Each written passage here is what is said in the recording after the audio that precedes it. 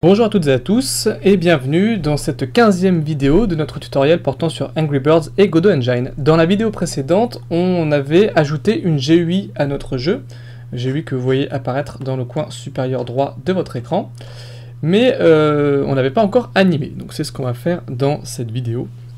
Donc pour l'animer, il va falloir qu'on mette à jour un score, score qu'il va falloir donc calculer, et auparavant on va même devoir calculer un score max parce que nous, bon, 10 000, ce ne sera pas euh, forcément 10 000 pour tous les niveaux, il va falloir qu'on calcule dynamiquement ce score. Alors comment est-ce qu'on va calculer ce score? Il faut se poser la, question de comment est calculé le score dans un Angry Birds. Euh, le score, il est calculé bien évidemment en fonction des éléments qui sont détruits, mais également en fonction des éléments qui sont euh, parfois gardés, parce que par exemple les oiseaux, plus on en garde à la fin de notre niveau, bah, plus on gagne des points. Donc chaque oiseau a un coefficient en fait de survie, Hein, euh, des points qui sont liés au fait qu'on ait gardé l'oiseau ou pas. Donc ce qu'on va dire, c'est que tous nos éléments damageable, ils auront des survive points et des destroy points. Donc pour dire ça, c'est simple, on va simplement dans notre scène damageable.tscn, on va même dans le script, et on exporte deux variables. La première, qui est un entier, euh, qui sera compris entre 0 et pourquoi pas 100 euh, 000, hein, pour un super boss de la mort qui tue par exemple. Donc cette première variable, on va l'appeler destroy points. Elle sera par défaut égale, je sais pas, à 500 par exemple. Vous pourrez mettre la valeur que vous voulez. Euh, deuxièmement, on aura une autre valeur pareille qui sera compris entre 0 et pourquoi pas 100 euh, 000, qui sera un survive points qui correspondra au nombre de points qu'on gagne si euh, bah, l'élément survit. Et par défaut, on va dire qu'il est égal à 0 parce qu'il n'y aura quand même pas beaucoup d'éléments qui auront des survive points. Euh, pour l'instant, dans notre jeu, il n'y aura que les oiseaux, en fait. Donc par défaut, euh, voilà, 0. On va dire donc à nos oiseaux quand même, euh, donc dans bird.tsn, birds, bird.tsn, on va leur dire d'avoir un survive points de par exemple 2000, c'est-à-dire qu'on gagnera 2000 points si par oiseau qui survit en fait. Voilà. Donc ça c'est pas mal. Et euh, maintenant qu'on a défini comment on comptait les points pour chacun des damageables, il va falloir faire en sorte que notre level il calcule dynamiquement le score maximum. Euh, bien évidemment, il va falloir passer par un script, mais auparavant, on va devoir euh, faire en sorte que nos damageables puissent être récupérés par notre level. Et pour ça, la façon la plus simple, c'est d'aller dans notre scène damageable et de simplement ici aller dans l'onglet nœud qui contient un sous-onglet groupe et on va en fait rajouter nos damageable à un groupe qu'on va appeler tout simplement damageable. Ça va être aussi bête que ça. Donc on ajoute euh, notre, groupe, et dans level, ce qu'on va faire, simplement, c'est que dans la méthode ready, euh, on va parcourir nos différents éléments damageable, for, pas fear, for damageable in. Comment est-ce qu'on récupère les éléments d'un groupe? Ben, Il faut faire appel à l'arbre de la scène, donc get tree, get node in group, je précise simplement le nom du groupe. Donc là, je récupère tous mes damageables, et pour chacun des damageables, j'incrémente une variable max score que je vais initialiser dans mon niveau. Max score, qui par défaut, enfin, qui au début est égal à 0, et que je calcule ici. Max score plus égal damageable, point, euh, bah alors, justement, quoi? Qu'est-ce que je vais devoir rajouter à mon score? Je vais pas pouvoir ajouter la somme de mon destroy points et de mon survive points, parce que, évidemment, un élément ne peut pas être à la fois détruit et survivre, donc on peut pas euh, prendre en compte les deux dans le calcul des points. Donc ce qu'on va faire, c'est qu'on va simplement prendre le maximum entre notre damageable destroy points et notre damageable survive points. Voilà. Et à la fin, il va falloir que je dise à ma GUI de mettre à jour ce max score. Alors pour ça, je vais aller dans ma GUI. Donc je vais dans euh, scène, GUI.tscn et je vais rajouter un script à ma GUI. Euh, ici voilà, script. Je pourrais me passer pour l'instant de ce script, mais de toute façon on va en avoir besoin euh, plus tard comme vous le verrez. Euh, je vais donc ici créer une variable qui va contenir euh, pour l'instant, qui va contenir quand même. Euh, bah quoi? Mon score progresse. Parce que je vais avoir besoin de mettre à jour euh, la valeur maximum du score progress. Et je vais aussi avoir besoin de mettre à jour la valeur du score max. Donc ici, je vais créer une variable score progress que j'initialise lorsque tout est prêt. Donc onReady score progress égale ici progress. Ah, voilà, donc là j'ai l'autocomplétion qui m'aide bien parce que sinon j'aurais un petit peu galéré à euh, aller chercher mon nœud. Heureusement qu'elle est là. Euh, onReady var euh, score max label qui sera mon score max. J'écris simplement score max et vous voyez que l'autocomplétion fonctionne. Et dans mon script, je vais simplement créer une fonction que je vais appeler set max score. Cette fonction, set max score, elle prendra en paramètre le, bah, le max score. Je n'ai pas nommé mes éléments de façon très, euh, façon très logique. Ici, ce sera plutôt max score label. Score max, score max. J'ai toujours un petit peu de mal avec euh, l'ordre des mots que je dois employer quand je fais euh, du franglais. Euh, cette max score, score max, ok, bon, peu importe. Qu'est-ce que va faire cet élément? Bah, Il va prendre mon score progress et il va simplement définir sa max value à score max. Et il va prendre mon score max label il va définir son texte à score max. Alors attention parce que score max ce sera un entier donc il faut que je convertisse parce que texte prend en paramètre une chaîne de caractères donc il faut que je convertisse à la volée mon score max en chaîne de caractères. Voilà. Euh, donc ça c'est pas mal. Euh, bah, on va même déjà pouvoir tester ce que ça donne. Non, il faut d'abord dire évidemment à ma GUI d'appeler cette méthode. GUI set euh, max score. Je sais pas du coup, alors je vais enregistrer ma, G... je ma GUI. Comme ça, voilà, j'aurai l'autocomplétion. C'est ça, c'est cette max score. Donc max score. Ok. Et donc là déjà, on devrait voir notre score maximal s'afficher dans euh, notre niveau. En fonction bah, euh, du calcul des points. Donc je lance ma scène.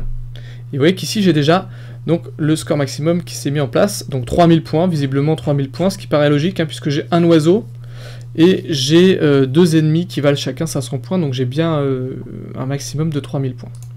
Ok, donc ça c'était pour fixer le score de départ.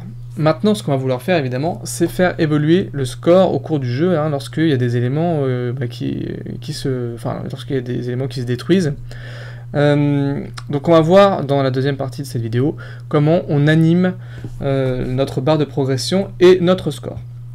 Alors, euh, pour pouvoir animer notre score, il va falloir faire en sorte de réagir lorsque nos éléments damageable bah, sont détruits. Quand est-ce qu'ils sont détruits? Bah, pour, pour le savoir, il faut aller dans le script damageable.gd. Et vous voyez qu'ici, on a une méthode Enfin, on n'a même pas une méthode pour l'instant, mais on va créer une méthode. On a un code qui s'exécute lorsque la health passe en dessous de 0 et qui pour l'instant fait ceci. Donc, nous, ce qu'on va faire, c'est qu'on va isoler ce code dans une méthode. Vous allez voir que ça nous sera utile plus tard.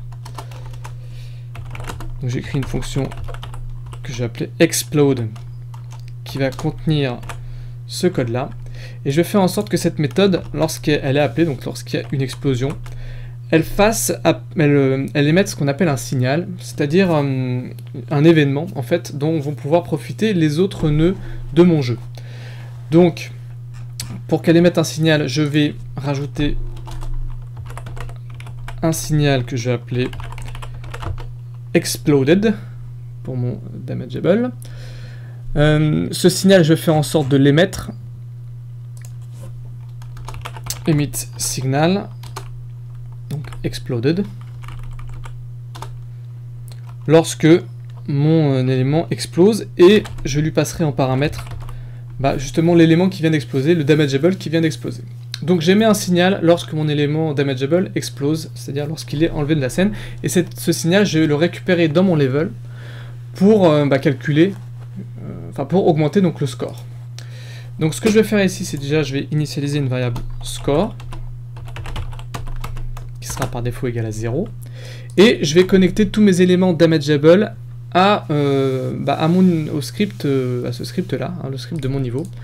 Euh, pour faire ça, je vais profiter que je boucle déjà sur mes damageable.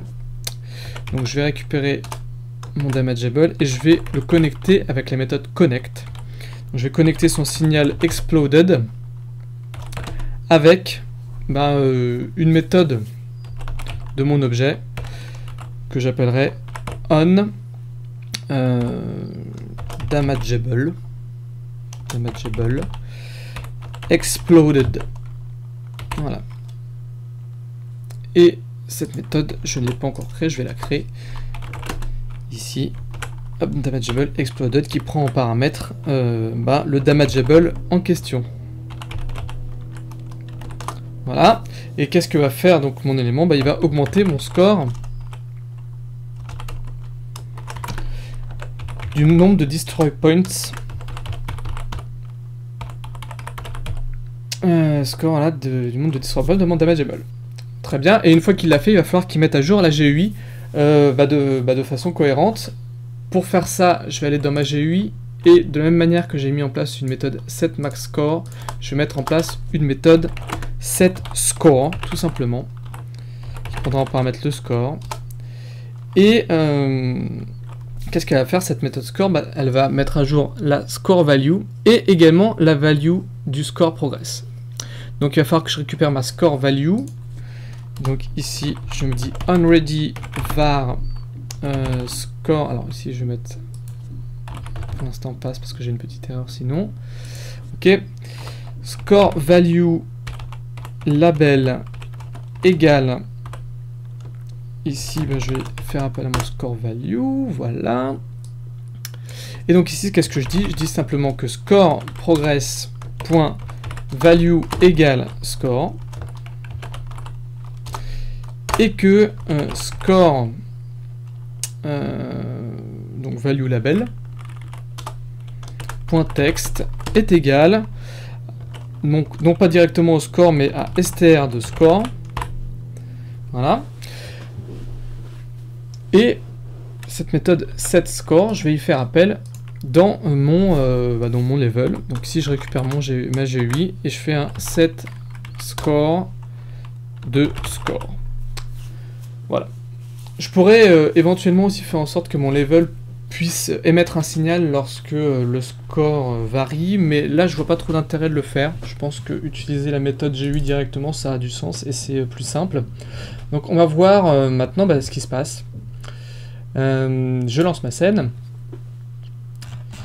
et je vais essayer d'exploser mon méchant. Voilà, donc je lance mon oiseau et vous voyez que mon score se met bien à jour. Bon, par contre, pour l'instant, il n'est pas encore animé. Hein, ça, ça c'est pas un truc qui est, euh, géré automatiquement par Godot, évidemment. Là, j'ai mis euh, un, score dans ma progress bar et euh, dans mon label, donc c'est ce score-là qui est gardé. Bon, ça c'est une première remarque. La deuxième remarque qu'on peut faire, c'est que je vais être un peu juste au niveau place ici, donc je vais tout de suite régler le problème.